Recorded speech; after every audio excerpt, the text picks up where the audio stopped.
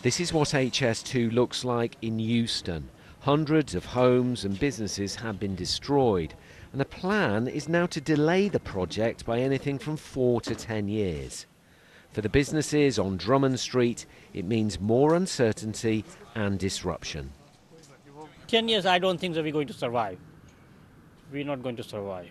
How are you going to survive when there is no help from anywhere else? Travelling to Drummond Street and around this area is, is, is just nightmare. So it's going to be it's going to be a nightmare for the businesses. I personally think the government should finish this sooner rather than later, uh, so the Euston comes back to normality.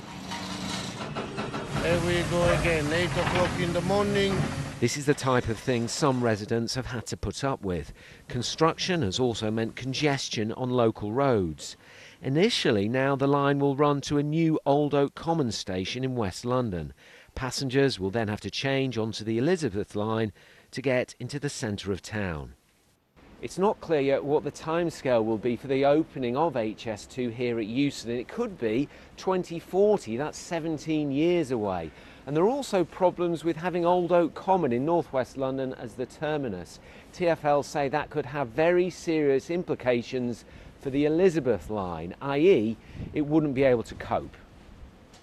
A more affordable design for Euston Station will now be worked on, but the whole area is meant to be seeing huge regeneration. Well, I think it's an absolute uh, disaster for the community here. It's like a punch in the gut. Um, people woke up this morning uh, reading the news and simply don't know what, what it means uh, from here. There's, there's no going back for people in Euston. HS2 is here. Homes have been demolished, schools have been emptied, green space has been taken away. This is a giant building site in the centre of London, dividing communities. We, we need a plan urgently about moving forward, um, and, a, and a, a delay of a year, five years, ten years is just not acceptable. Euston now I may not have a station for decades. You've got homes there that have been demolished, businesses have been uh, demolished. On many days there's traffic chaos because of high speed uh, Two. There are environmental issues around there, economic uh, issues. We're now being told that the only terminal in London will be Old Oak Common in the west of London for many, many, many years. That can't be right. The government's got to sort it out. The government says it's delaying the station to save money, but it is committed to bringing the line into central London. But here in Euston, there's just frustration and disbelief. Tom Edwards, BBC London.